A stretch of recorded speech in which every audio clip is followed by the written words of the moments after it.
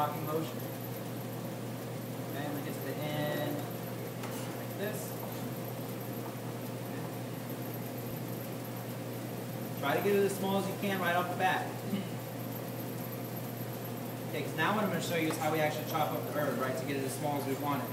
The smaller you can get it at first with that initial, the easier it's going to be. Okay, then you're going to grab the tip of your knife and the back of your knife, right? Rocking motion. The tip of your knife down on your cutting board. Now, the, the trouble that everybody gets into on their midterm and their final is that they don't chop it up enough. The sharper your knife is, the less chance that you're going to have that uh, bruised up, dried up looking stuff at the end, okay? Especially when we're talking about like basil. You want to have a really nice sharp knife for that. Otherwise, it, first it bruises it, then it turns brown before you can get a chance to use it.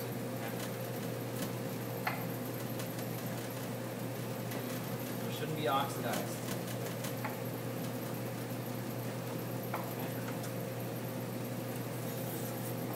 Using the back.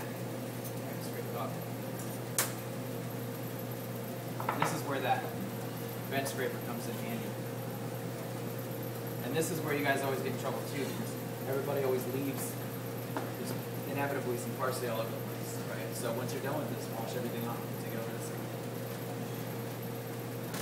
Now, I'm going to teach you a trick, but it's not for your midterm. Okay? When I see your midterm parsley, should be about like this. Okay, and what we used to do is we used to take this, right? Put it, we, we would chop a lot. So we chop a lot. We chop a lot of it, okay? Then we put it into one of those towels, rinse it, squeeze it out, right? And then we uh, put it back on the tray, all nice and dried out, right? And so it's it's easier to pick up and sprinkle. Okay? But we don't really we don't really do that anymore. I don't know if you guys ever seen like where they take the they take the parsley and sprinkle around the plate. Don't ever do that. This is a old school method. Okay. Now we want to work on more modern things. We don't sprinkle parsley around the plate. You know why they used to do that? When they first came out with those dish machines. Uh, they would leave water spots on the edge of all the plates. Okay, and so they put that on there to cover that stuff up. We don't need to do that anymore. Our dishwashers work just fine. Okay, you guys see how fine this is? Okay, and you see that I got some parsley all over the place. Got even got a little bit on my jacket.